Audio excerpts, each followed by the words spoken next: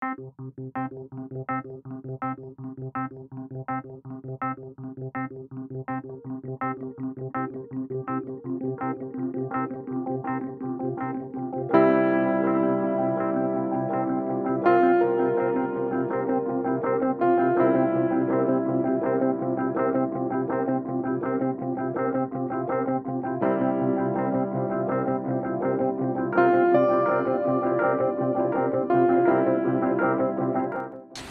Jumpa lagi sahabat Kar 2, suatu kehormatan bisa menemani kalian semua. Semoga semua sehat selalu, ikuti terus channel ini dan jangan lupa subscribe, like dan tinggalkan komentar dan saran agar kami terus bersemangat. Stay tune.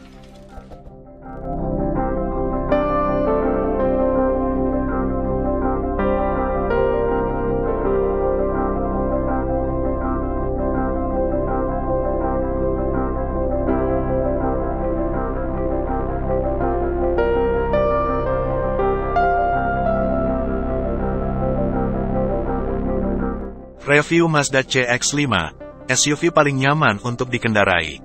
Saat itu November tahun 2016 ketika Mazda CX-5 generasi kedua dihadirkan di Los Angeles Auto Show dan tujuh tahun berselang, SUV midsize pabrikan asal Jepang tersebut mendapat peningkatan berkat pembaruan yang menghadirkan fitur-fitur baru yang menarik tidak hanya dari segi estetika, tetapi juga dari segi teknis dan substantif.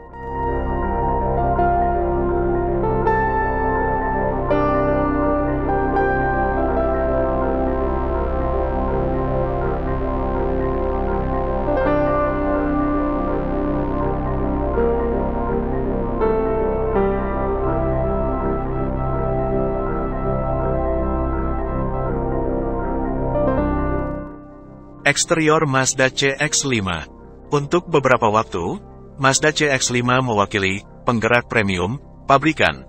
Tetapi sekarang, dengan kedatangan CX-60 yang lebih besar, telah dipindahkan ke tengah daftar. Dengan panjang 4,57 meter, lebar 1,84 meter, dan tinggi 1,68 meter, model ini tetap berfokus pada gaya dinamis dan terkadang sporty yang telah menentukan kesuksesannya selama bertahun-tahun.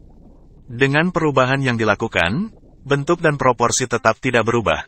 Bagian depan menonjol dengan grill besar dengan logo Mazda di tengah, klaster lampu LED ultra tipis, sedangkan lampu depan baru menjadi pusat perhatian di bagian belakang, lampu depan yang baru yang dilengkapi dengan ciri khas lampu yang baru.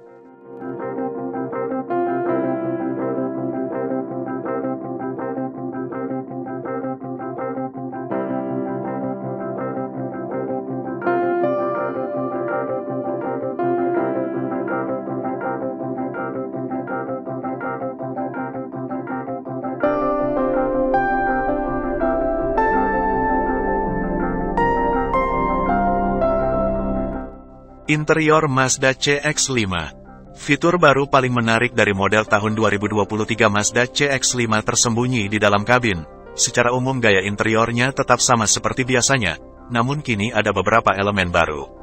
Ini termasuk sistem pengisian daya nirkabel untuk ponsel di bagian bawah dashboard, serta konektor USB Type-C di bawah sandaran tangan tengah. Ada juga pembaruan di sisi teknologi, terlihat pada sistem infotainment yang diperbarui, yang kini kompatibel dengan protokol Android Auto dan Apple CarPlay bahkan dalam mode nirkabel. Hal baru lainnya adalah debut kontrol sensitif sentuhan untuk sistem infotainment. Namun, kontrol ini hanya untuk mengontrol fungsi yang terkait dengan Android Auto dan Apple CarPlay. Untuk mengontrol semua fungsi sistem lainnya, seperti radio dan satnav, Anda masih harus menggunakan knob yang terletak di terowongan tengah.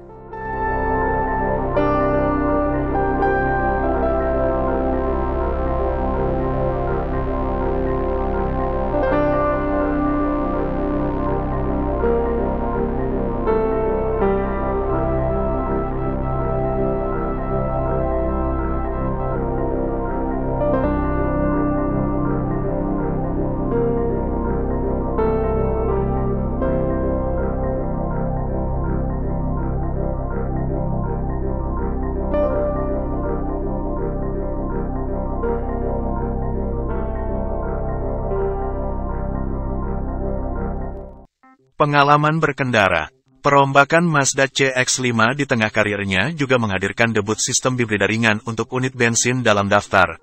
Oleh karena itu, Saat pertama kali bertemu dengan mobil ini, saya memutuskan untuk mengendarai versi bensin paling bertenaga 2.5 dengan 194 tenaga kuda dan 263 Nm.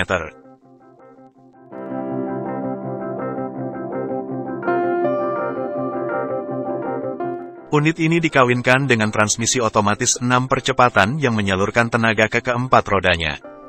Daya dorong mesin sangat progresif, tetapi seperti mobil yang bernapas dengan baik, hanya di ujung atas putaran performa sebenarnya muncul, meskipun otomatis 6 kecepatan agak lambat untuk bekerja, dengan kecepatan rakitan dasar sangat baik. Bagian suspensi dapat mengandalkan pengaturan MacPherson di depan dan multilink, suspensi agak kaku, yang membuat model ini sangat presisi di tikungan, namun tetap memberikan daya serap yang baik untuk kenyamanan.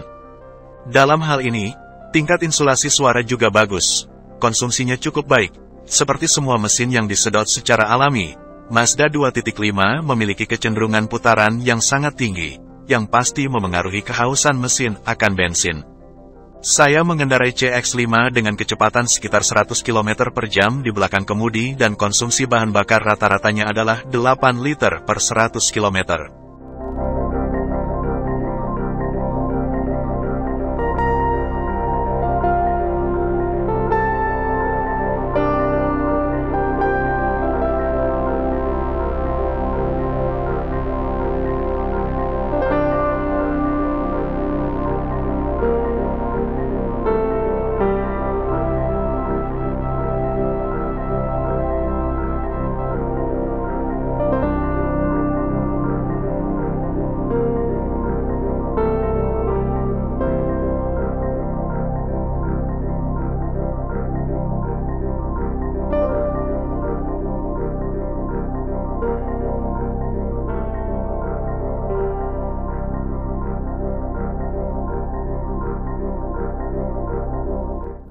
Penjualan Mazda CX-5 Meski sudah bertahun-tahun, Mazda CX-5 masih menjadi model terlaris pabrikan Jepang di seluruh dunia. Sejak rilis generasi pertama pada tahun 2012, sekitar 4 juta unit telah terjual di seluruh dunia.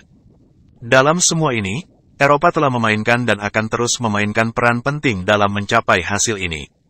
Pada tahun 2022 saja, 365.135 CX-5 terjual di seluruh Eropa, mewakili 26% dari total penjualan Mazda di benua tersebut. Harga Mazda CX-5 Versi bensin paling bertenaga dari Mazda CX-5 tersedia dalam tiga paket perlengkapan jalur eksklusif, Homura dan Takumi, dengan harga mulai dari 46.050 euro atau sekitar 747 juta rupiah. Bensin 165 bhp 2.0 juga tersedia di trim garis tengah mulai dari 36.700 euro atau sekitar 596 juta rupiah. Sedangkan diesel 150 bhp 2.2 mulai dari 38.700 euro atau sekitar 628 juta rupiah dan naik menjadi 47.150 euro atau sekitar 75 juta rupiah hingga 184 juta rupiah untuk varian HP.